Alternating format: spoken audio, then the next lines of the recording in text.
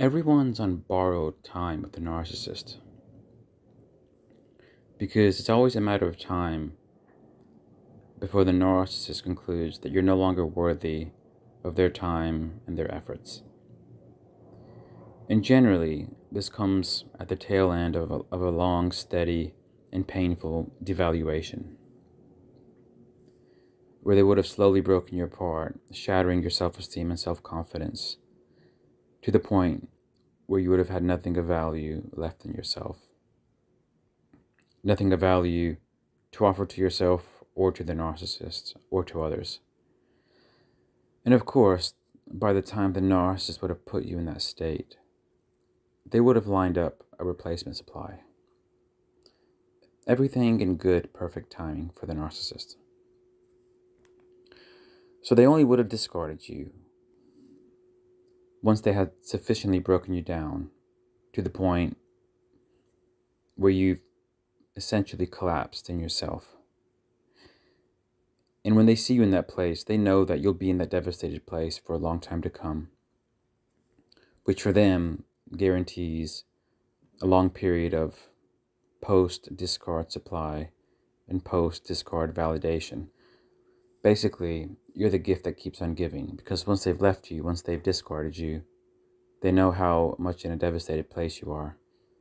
And and that gives them lots of supply for a long time.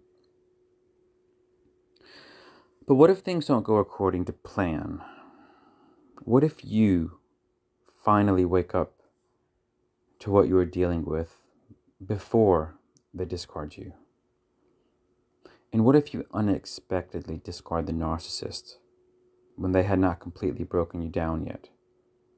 When they had not lined up a suitable replacement supply yet?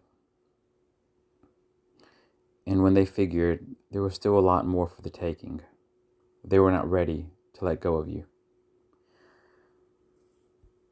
When you unexpectedly discard the narcissist before they're ready to let go of you, when you do it in that way, it's probably the worst thing you can do to the narcissist because you've removed yourself, their primary supply, from their reality at a time where they have no backup, no backup supply. And what that does is it causes them a supply shortage. And you would have done this unexpectedly, surprising them in a way which would have hit their sense of ultra self confidence. Just collapsing their feeling of having to have control over events into oblivion because they try so hard to have control over things, other people, and they're very cocky about that. They're often ultra confident about that. And they were convinced that they had control over you and they had control over when the discard would happen, and it would have happened on their watch and not yours.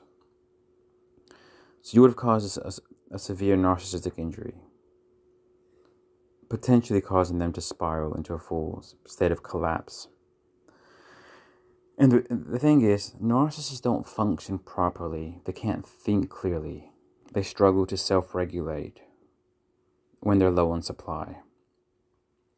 And now, out of the blue, you've forced them into this position where they have to hunt for a replacement supply.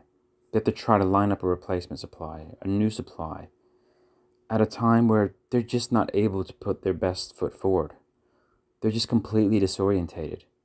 They're in this kind of catch 22, kind of chicken and egg situation where they need good supply, they need to be well supplied so that they can sell themselves well to conquer new supply, but they're low on supply, so they don't really have the resources to conquer new supply, but they need that new supply and it's just they're low on resources.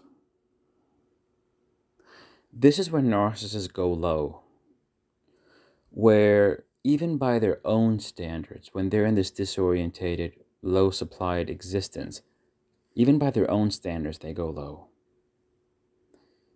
They go low in terms of the people they're willing to entertain as potential supply sources. I'm talking potentially drug addicts, um, not high functioning drug addicts, I mean low functioning drug addicts. If it's a male narcissist, maybe prostitutes, you know, they'll they'll go they'll entertain certain prospects they, that they wouldn't normally entertain if they even had reasonable supply available to them. And they often end up because they you know beggars can't be choosers, right? They often end up attracting people who are just as toxic as or more toxic than than they are.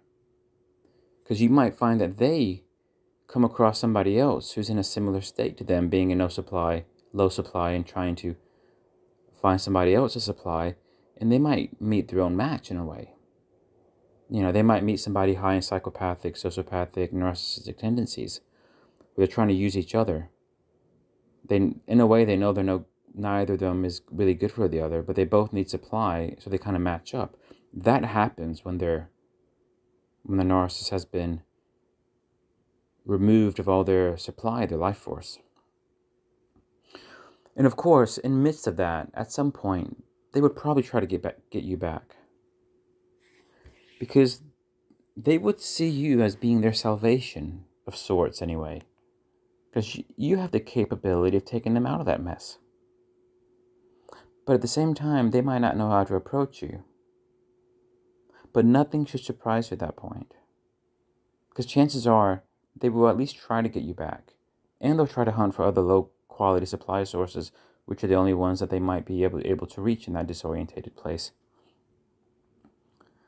But I mean, the games they might play to try to get you back, the things they might do or say, just don't be surprised by anything and make sure to stay no contact at this point. And keep your boundaries as high and strong as you can because this is where you need those boundaries.